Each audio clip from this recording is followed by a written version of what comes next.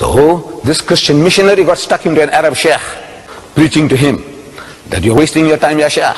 Pray five times a day, up and down, up and down. You fast for one whole month and you straitjacket your life. You don't drink, you don't gamble, you don't eat the pig and on and on. Allah is not hungry for that. You want salvation? You believe that He sent His Son into the world and He died for your sins and salvation is yours. God Almighty, He came down to earth and He died for your sins. Believe and be saved. And the chief begins, began to cry like a woman who's lost her husband. He, he started to cry. so he said, you know, I just got the sad news that Akhi Jibreel, Jibreel salam, the Archangel Gabriel, he died. So the priest says, you fool, angels don't die.